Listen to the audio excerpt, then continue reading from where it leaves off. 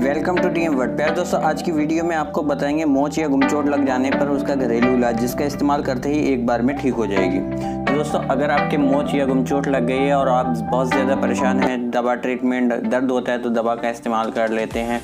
और बहुत ही ज़्यादा आपको अगर बेचैनी है और ठीक होने में नहीं आ रही है तो आज ऐसा घरेलू नुस्खा हम आपको बताने वाले हैं, जिससे एक बार के इस्तेमाल से ठीक हो जाएगी।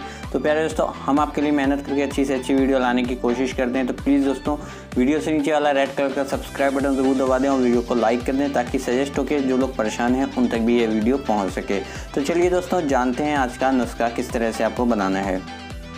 गुमचोट या मोच होने पर लहसुन के दो चम्मच रस में लाहौरी नमक मिलाकर उसमें एक चौथाई चम्मच हल्दी भी डाल लें। दोनों को अंगूठे के सहारे मोच वाली जगह पर मसाज करें, तुरंत फ़ायदा होगा।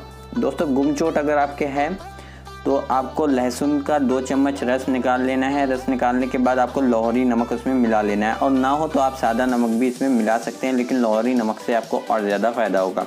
दोस्तों, मिलाकर उसे एक चौथाई चम्मच इसमें आपको हल्दी डाल लेनी है और इसका एक लेप बना लेना है। लेप बनाने के बाद आपको वहीं जगह पर लगाने हैं जहाँ पर आपके मोच है।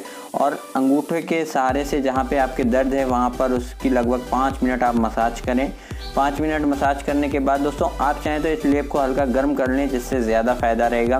दोस्तों, आप पाँच मिनट उसकी मसाज करते रहें। मसाज करने के बाद आपको 10 मिनट रिलैक्स करने के बाद आपको खुद ही फील हो जाएगा कि आपको कितना फ़ायदा हुआ है। तो दोस्तों, आप जब भी पैर, पैरों को धोएँ तो गर्म पानी से धोएँ, ठंडे पानी से ना धोएँ, वरना आपके दर्द फिर से स्टार्ट हो सकता है।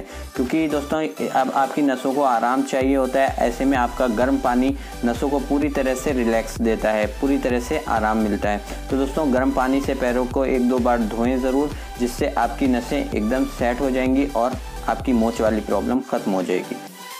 तो चलिए दोस्तों जानते हैं हम दूसरा नुस्खा, वो भी बहुत ज़्यादा इफ़ेक्टिव और सरल नुस्खा है। एक उपला लेकर उसे जला लें, उसकी राख को गर्म मोच वाली जगह पर बांधने से एक ही दिन में ठीक हो जाती है। दोस्तों, आपको क्या करना है? उपला कंडा जिसे हम बोलते हैं, दोस्तों, गाँव में अक्सर ये जो है गोबर से थोपा जाता है दोस्तों, इसका जो है गोबर से बनाया जाता है इसको और ये ईंधन जलाने के काम में आता है दोस्तों। लोग इस पर रोटियाँ बनाने के काम में इसे लेते हैं, चूल्हे में इसे अक्सर जलाया करते हैं। तो दोस्तों, आपको वही उपला ले लेना है, यानी कि कंडा ले लेना है, उस, उसको जलाने के बाद उसकी जो राख हो दोस्तों गर्म गर्म राख को आपको ले लेना है, जलती हुई ना लें, जिससे आपकी त्वचा जल सकती है। दोस्तों, उसे हल्का ठंडा होने दें, यानी कि उसे बुझने दें, उसके बाद आपको गर्म राख लेनी है, उसकी गर्म राख आपको उस जगह लगानी है जहाँ पर कि आपके मोच या फिर गुमचोट है। दोस्तों, अगर आप एक बार इसे लगा के बाँध लेते हैं और लगा रहने दें, दोस्तों, एक से दो बार इसे बांधेंगे, आपकी ये प्रॉब्लम मोच वाली जड़ से ख़त्म हो जाएगी। तो चलिए दोस्तों, आप जानते हैं तीसरा नुस्खा, वो भी बहुत ज़्यादा सरल है। एक चम्मच हल्दी, मिर्च, एक चौथाई चम्मच और चूना, एक चुटकी लेकर आपस में मिला लें। अलसी का तेल डालकर लेप बनाकर मोच वाली जगह पर लगाएँ। एक बार लगाने में ठीक हो जाएगी। दोस्तों, आपको क्या करना है? एक चम्मच हल्दी, मिर्च, एक चौथाई चम्मच।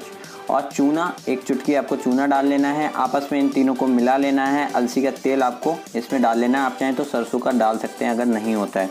और इस, इसकी मसाज करें। दोस्तों 10 से 12 मिनट आप इसकी मसाज करें।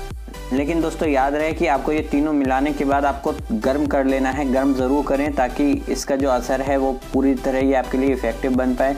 दोस्तों, गर्म लेप आपकी नसों को एकदम से सेट कर देता है तो ऐसे में आपको लेप को गर्म करना बहुत ज़रूरी है। तो दोस्तों, गर्म लेप करने के बाद आपको ये इससे मसाज करनी है और इस लेप को लगा रहने दें। इससे आपकी जो मोच वाली प्रॉब्लम है, ख़त्म हो जाती है। तो प्यारे दोस्तों, जैसे कि हमने बताया, आप इसे गर्म ही लगाएँ। तो आज की वीडियो में इतना ही। बस दोस्तों, मिलते हैं फिर एक नई वीडियो के साथ। जब तक के लिए दुआ में याद रखना और अपना ख्याल रखना। Thanks for watching this video